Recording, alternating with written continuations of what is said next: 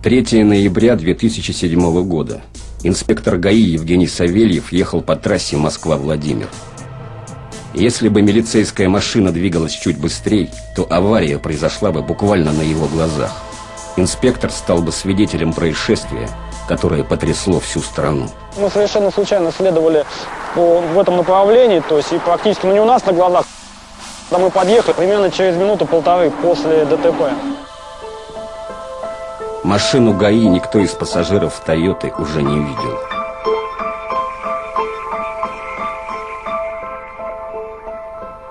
Лобовой удар. Универсал выскочил на встречную полосу и буквально влетел в грузовик.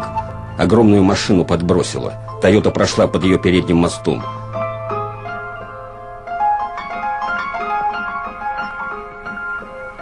Смерть пассажиров была мгновенной. Инспектор ГАИ это понял сразу. Деформации, полученные в результате ДТП, были очень сильные, так что даже у него была скрыта крыша, как у консервной банки. В салоне было три человека. Мужчина, женщина и ребенок. Тела были очень сильно обезображены, то есть практически установить личности было невозможно. В искореженной груди металла сложно было найти хоть что-то из вещей. Вначале отыскали женскую сумку. В портмоне фотография актера. Инспекторы удивились. Чудно как-то. Ну, ну, мало ли, поклонницы подумали. Потом нашли телефон. Набрали первый записанный номер. Аня. 37 минут первого мне позвонили. Аня назвала фамилии погибших.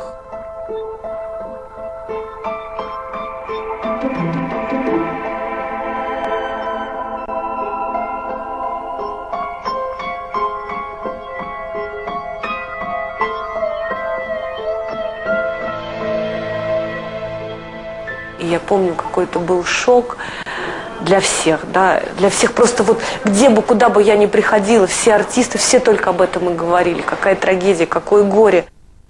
Их гибель взбудоражила всю страну. Погибла целая семья. Но людей задело не только это. Александр Дедюшка воплотил мечту многих. Он долго шел к намеченной цели. Он верил в победу. И погиб буквально в шаге от успеха. Вот только все начало у него. Вот, вот этот перевал, который вот, вот он, вот его бы перейти, и бы началось вот это счастье. Вот, вот. Он на пороге был. Вот на пороге это буквально пол шажка оставалось. Пол шажка и все. Я майор Сарматов, командир спецгруппы Z. Теперь здесь я главный. А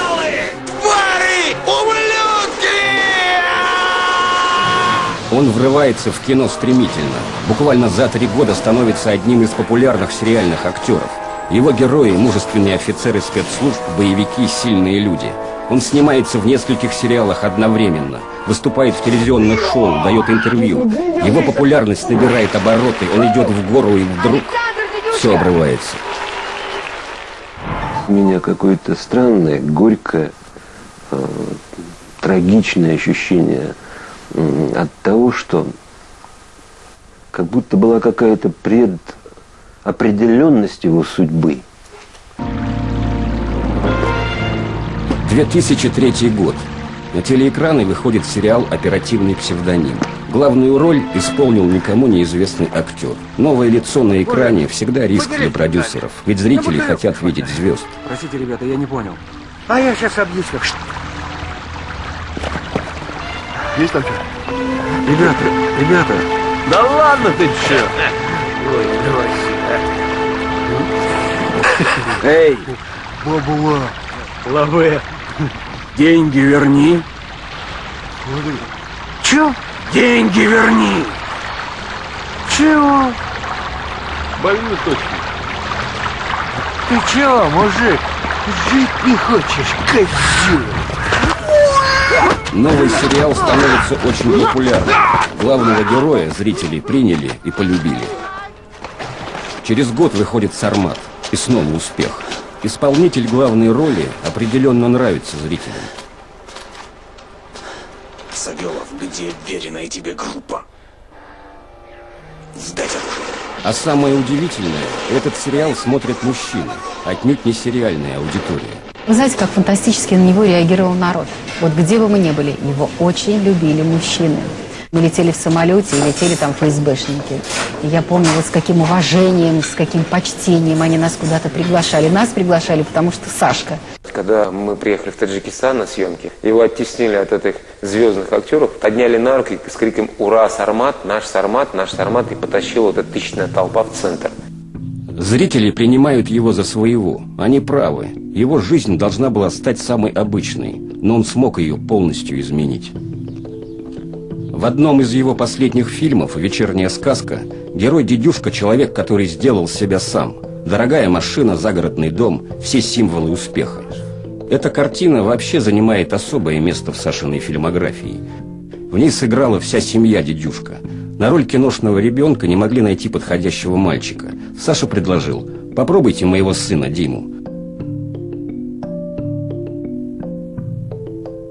На кастинг Диму привела Сашина жена Света.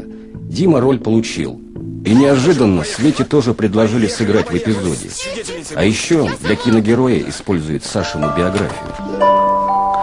Родился в 62 году в городе Волковыске. Знаете такой город? Нет. Это Белоруссия, Западная Белоруссия, Гронинская область.